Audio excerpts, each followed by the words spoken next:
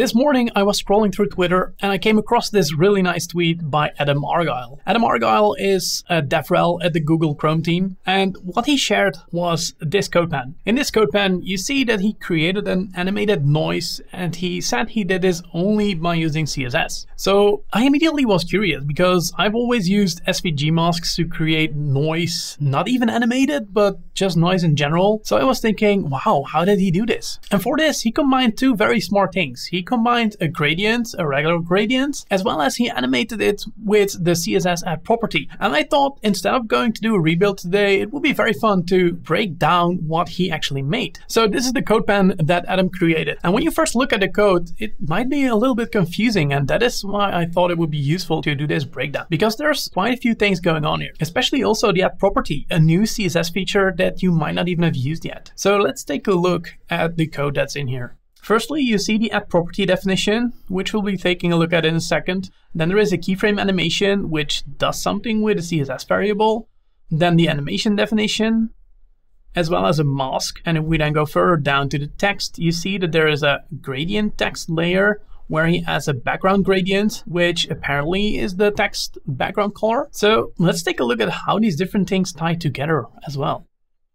Also, you notice that Adam uses the @layer, which is also a new CSS feature to define CSS cascading layers. Definitely check the video linked up here where you can see what cascading layers can do for you, because I have a whole video about that as well. So let's start by undoing a few things here before we start redoing them again. First, let's just remove the animation for a second, so everything becomes static and it's not animating anymore. So this noise animation, if we also quickly have a look at the HTML for a second, you see that it is an H1 which has a text noise, as well as the div, which has a class noise, and that div wraps the whole text. So that means that if we look at the CSS here, we have the noise div, which is around the text, and that has a specific animation. For now, we're gonna ignore it for a bit because we're gonna break it down first. Then there's also this mask on here, so let's also remove that for a second. And then you see that we suddenly have a gradient text, similar to my last week's video where we also added a nice animation based on a background gradient on a text. Because if we scroll down a little bit, we go to that gradient text. We notice that Adam does an @supports check to check if the OKLCH color scheme is used. That is again something that's new. The OKLCH color scheme, you can compare it to RGB or HSL color schemes, but the OKLCH color scheme is a more vibrant color scheme that uses a lot more of the capabilities of modern phones and laptops, being able to show, again, more vibrant types of colors. So this is not not really part of that demo, but it's also something you're gonna encounter and you might think, what's he doing there? But the main thing he's actually doing is rendering the background image, which is a linear gradient that goes to the right and then has two colors. And based on if the space is supported, he also adds in the space there to use that new color space, because that's also why you see that there's an empty variable if it is not supported. So then it's just regular RGB color. But he's using the background image to create a gradient text, and then he uses a background clip clip to make sure that the background only clips to the text, because if we would also remove that, you would simply see that we get a gradient square because that's the background. And then this background clip simply helps to clip the background around the text. And that way you are able to see the background only surrounding the text and it suddenly looks like the text color is a gradient. So that's pretty much the first step. If you do that, you have a text gradient. And then how is he able to turn that linear gradient into some kind of noise suddenly? And that's where the second step comes in.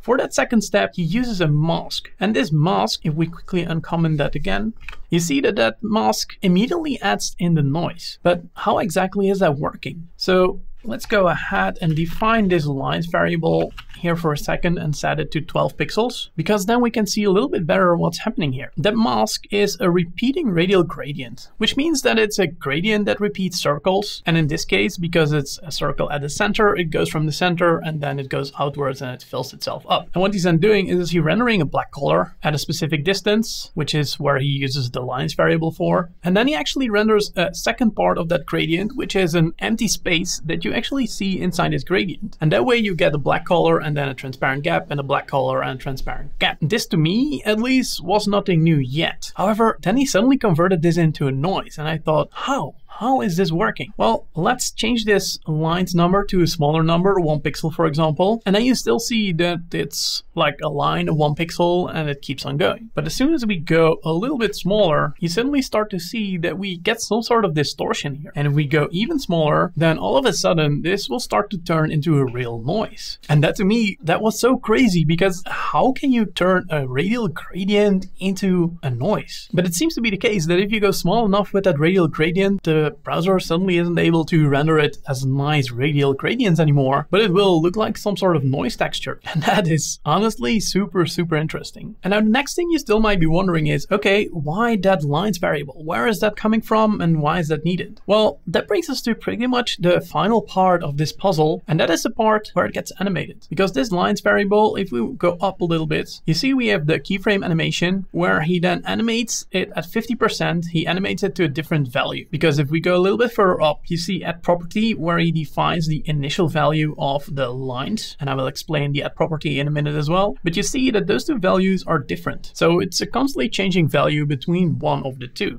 And then he goes to the animation where he calls this animation, sets a specific duration and lets it continue for indefinitely. So what's pretty much happening is that it's animating between these two different values. But if you see me changing those two numbers, you see that the noise moves around. And that principle is exactly what he's using to make it seem like the noise is really animating. Now, the thing is, you can't really animate a CSS variable by default. You need to somehow tell the browser what type this CSS variable is. So here we are suddenly almost introducing a TypeScript kind of functionality to CSS. Because if the browser knows that a specific CSS variable is a color or in this case a pixel value, then it can animate it from one point to the other point. But it needs to know what type of that variable is is. And that is finally where the @property comes into play.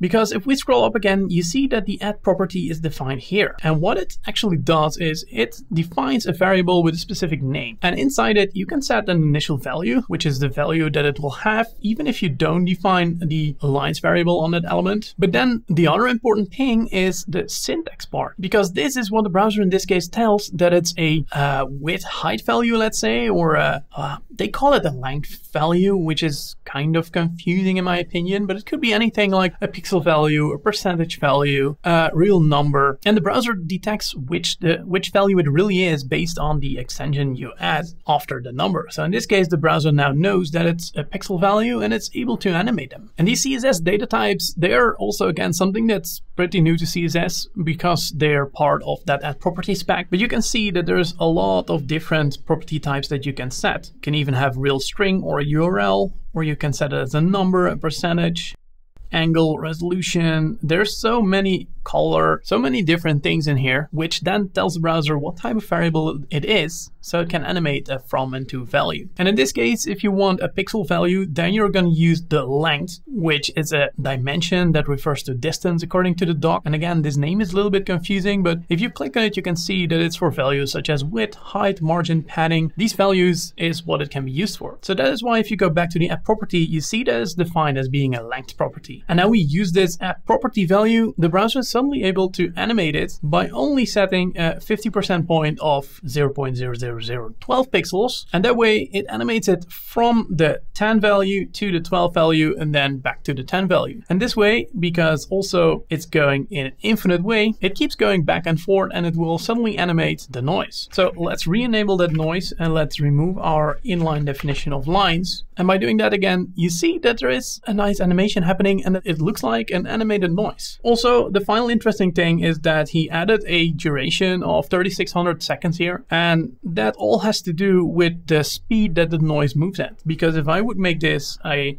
three second animation, then you see that all of a sudden it's moving a lot faster. So depending on the values that you use as the from and to values of the noise, you can probably get away with using a different speed here, um, but it's either a combination of these two values that need to be perhaps a little bit smaller or larger and the duration of this animation. And that is all there's to it to this noise animation. I hope this breakdown to you was helpful because when I first saw this, I saw there's many new and interesting CSS techniques in here and it's such a great combination of these kind of things that I thought it would be valuable to do this breakdown for you. So you can also see how I dive into code snippets like these to learn and understand them. And on top of that, if I do these breakdowns, I also learn a bit more, which also helps me if I need to teach it to you again. So that is all I have for you today. I hope this was a valuable video to you, and I hope to see you in the next video.